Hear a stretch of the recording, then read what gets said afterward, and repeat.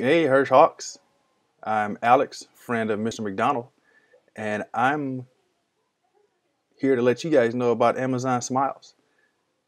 It's a cool program where we can raise money for the school. Mr. McDonald has made 10 purchases and raised $3.72 for the school on 10 orders. Now, that's not a whole lot, but if we all work together, we could raise a lot of money for the school. So let's try it. Sign up. Or if you don't use Amazon, then don't worry about it.